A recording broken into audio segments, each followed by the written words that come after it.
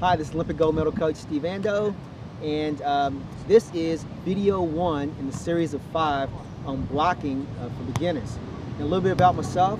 I'm Olympic gold medal coach, got a gold medal with the Australian women's team in 2000 at the Olympics, uh, 1996, a bronze medal at the Olympics, team of the decade, co-team of the decade from 1990 to 2000. And I've been coaching professional volleyball players uh, for well over 20 years. Now, I want to show you some of the, the, techniques that we use for blocking.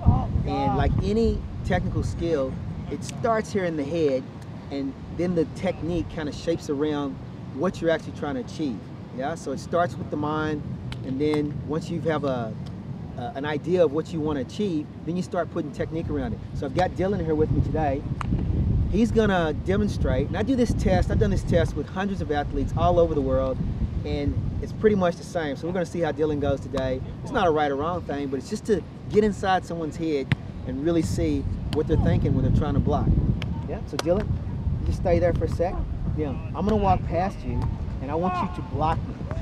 Yeah. So coach, when you're doing your athletes, this is a process. This is this is an actual process to help them shape their thinking. So I'm going to walk past you, and I want you to block me. Yeah. Okay. Here we go. Okay. That's blocking, right?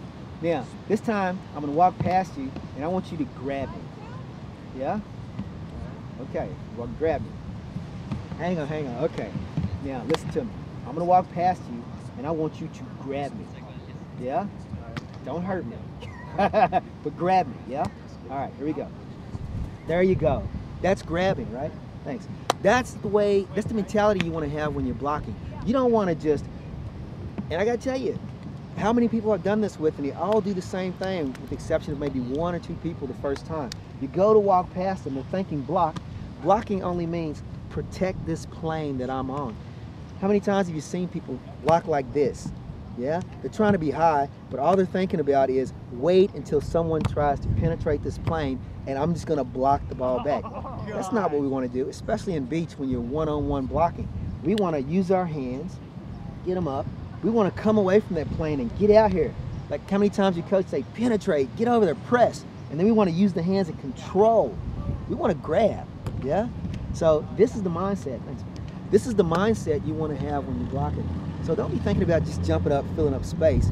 Get the hands active, be dynamic, get over there, press, and act like you're trying to grab the ball. Yeah? So this is the foundation that we start with for blocking. This is video one in a series of five go to volleyballdrillsforbeginners.com, get the whole series of five. Until then, enjoy the game.